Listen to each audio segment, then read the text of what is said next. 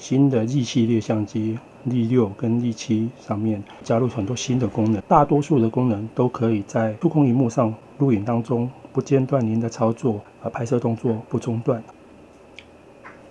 我们现在已经在录影当中，啊，在录影当中的同时，那你一样可以去更改啊您拍摄所需要的参数，比如说像 ISO，那我现在点了 ISO，那这里有啊大刻度的移动、变亮、变暗，都可以在这边啊些微的调整，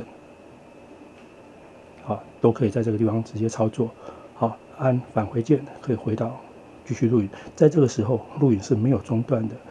变更好我们的光圈，缩光圈，开放光圈，好，或者是快门，都是可以做得到的。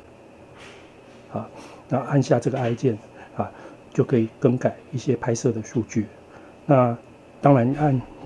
机身上的 I 键，或者是操作机身上的旋钮，也可以做到同样的功能。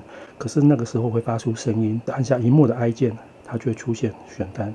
那可以更改摆平衡，那收音啊，声音太大声、太小声，或者用自动，都可以在这边设定。好，那对焦的模式，好，那我们先看看对对对焦点啊，对焦点有四种模式：单点，那标准区域的跟宽区域的，然后跟啊。这个是自动区域的，然后按下 AFS，啊，它有 AFS、FC、AFF、MF 四种模式，在单点对焦的时候，啊，那这是如果你的拍摄的形态是静态的，你只要点你想要的地方，它就很快的去对到你想要的对的地方。好，请注意，现在我们的录影是没有中断的，我们一直在录影当中。你会发现它的这个录影的动作、对焦动作非常的确实，非常的快。我们如果啊要变换我们的对焦模式的话，在这个地方我们可以看到 AFC。那这个 AFC 在新的对焦的呃应用上面啊，我个人觉得非常的方便好用哈。那我们按下 AFC 以后啊，我们还是一样看单点对焦好了。我们可以在这个对焦点上面先给它一个预设的焦点。假设我们现在下下一个。应对就到这个地方，在这个时候，你在录影当中就要按它 AF 按，它对焦点就会跑到前景。那我现在把它对焦点对到后景，然后按下 AF 按，它好就可以慢慢的移到后景。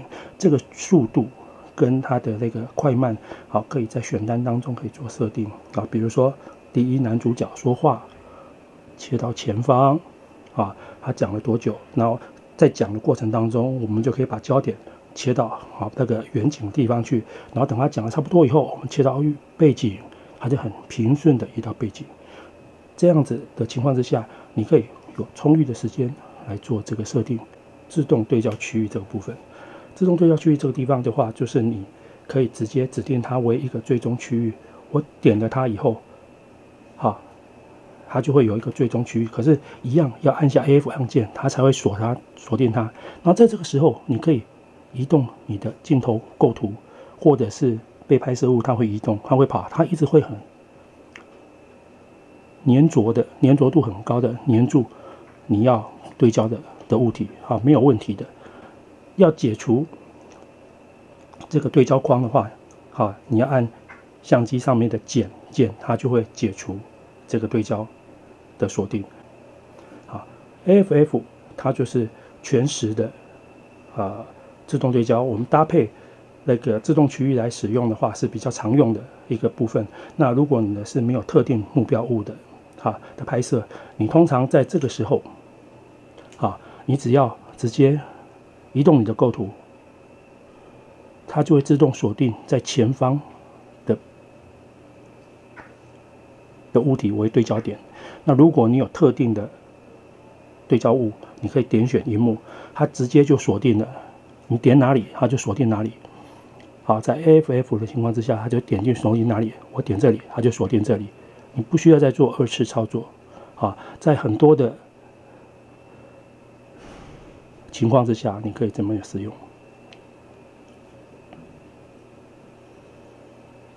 啊，如果要解除的话，你按下减键，它就解除了这个部分。在这些操作，它都还在录影当中。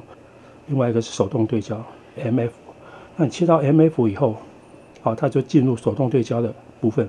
进入到手动对焦以后，它就出现啊峰值对焦的这个功能。那你可以直接转动你的对焦圈啊，让你的焦点落点和红线的落点落在你的焦点上。你可以很明确的知道啊，你现在对焦在什么地方，远景、中景、前景。